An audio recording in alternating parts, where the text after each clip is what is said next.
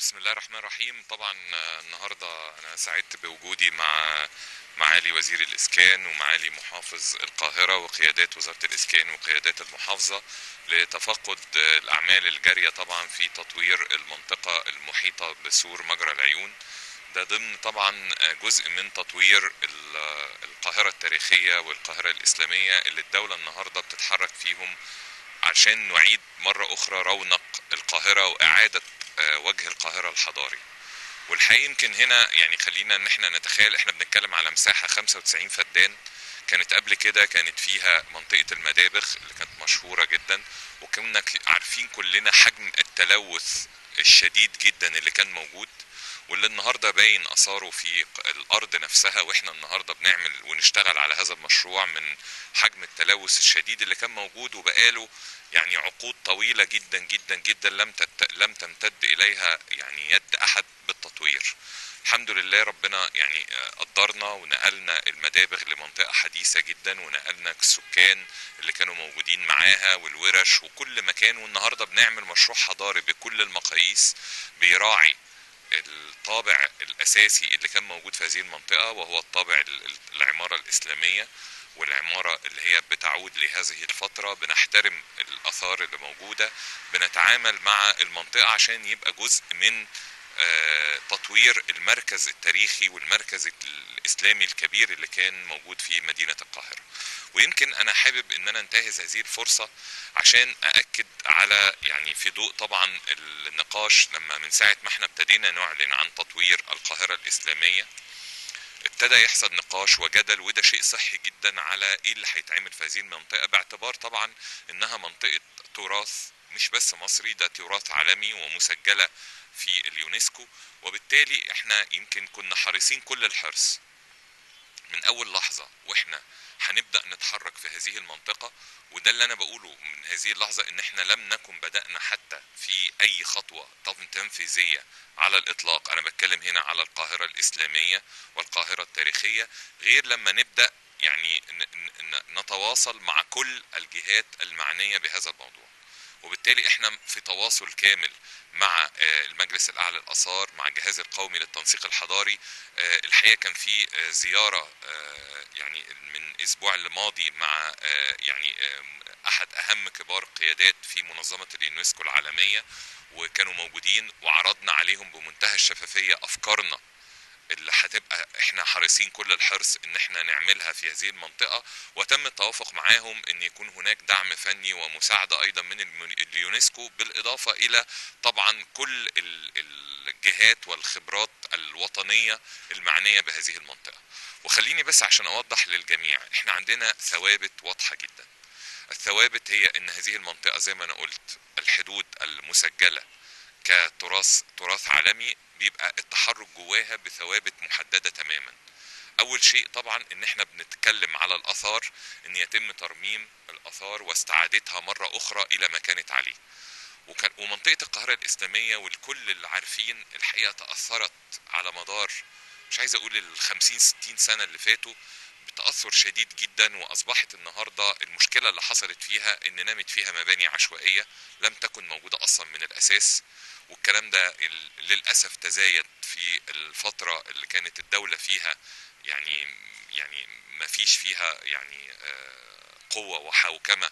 حقيقية يمكن الفترة اللي كانت من عشر سنوات وبرضو عشان برضو يعني ما نظلمش هذه الفترة الموضوع يعني متجذر من ما قبل ويمكن بالذات لو نتذكر كلنا كان في الزلزال الشهير اللي حصل في مصر سنة 92 وكان أثر على مباني كثيرة جدا جوه القاهرة الإسلامية وللأسف اللي حصل إن السكان البيوت اللي كانت تداعت وتأثرت بصورة سلبية في هذا الوقت اتنقلوا لمباني أثرية ومناطق أخرى جوه المنطقة وابتدوا يعيشوا فيها ويسكنوا فيها بطريقة ما نقدرش نقول إنها طريقة سليمة وابتدت تظهر أنشطة مش المفروض إنها تبقى موجودة في هذه المنطقة على الإطلاق يعني أنشطة بكل المقاييس أنشطة خطرة شديدة التلوث وممكن تمثل تهديد حقيقي للمنطقة.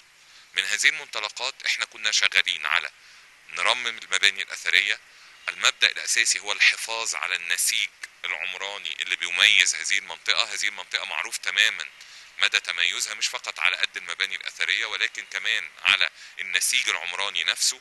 المباني القديمة اللي هي مش مسجلة كآثار ولكن إحنا كلنا عارفين إنها دي تمثل تراث تراث حضاري وكمان جزء من النسيج بتاع المنطقة ودي برضو بيتم الحفاظ عليها وترميمها. بيتبقى عندنا بالتأكيد هناك مباني دخيلة ابتدت تتبني وظهرت في الفترات الأخيرة. أو مباني متهدمة بالكامل عبارة عن يعني حطام وأراضي النهارده يعني خربه موجودة. هي دي اللي إحنا النهارده بنعمل فيها إيه؟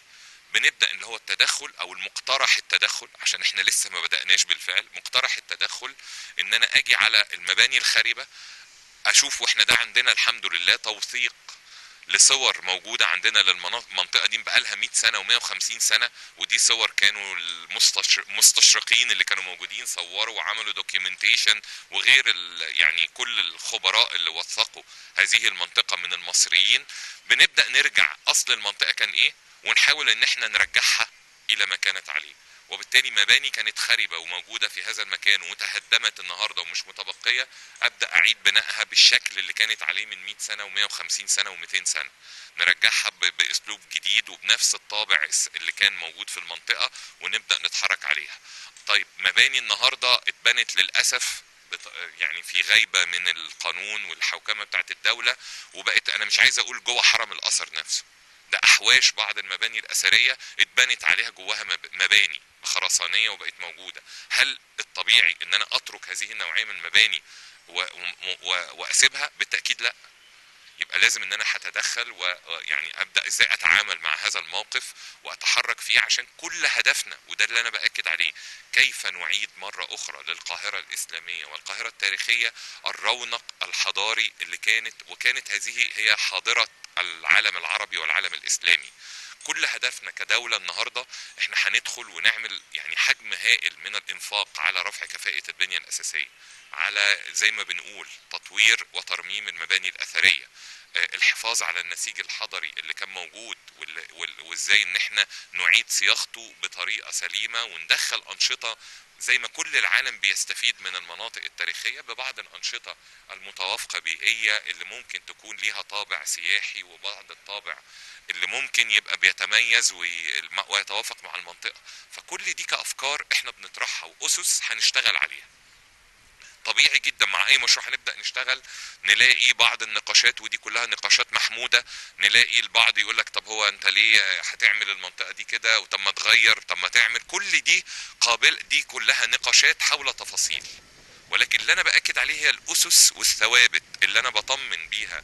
كل اللي اتكلموا على هذا الموضوع إن إحنا كحكومة مصرية بنتحرك في إطار هذه الأسس والثوابت بالتأكيد واخدينها وباعتبارنا وحاطينها دايما في اعتبارنا وفي يقيننا إن الحفاظ على هذه المنطقة واستعادة الشكل الحضاري اللي كانت طول عمرها عليه عشان فعلا تبقى في إطار التطوير الشامل اللي الدولة النهارده بتعمله للعاصمة بتاعتها إحنا النهارده جزء أصيل فيها وكنز كبير جدا هي القاهرة الإسلامية والتاريخية اللي إحنا حريصين كل الحرص إن شاء الله إن إحنا نرجعها إلى ما كانت عليه وأفضل بإذن الله.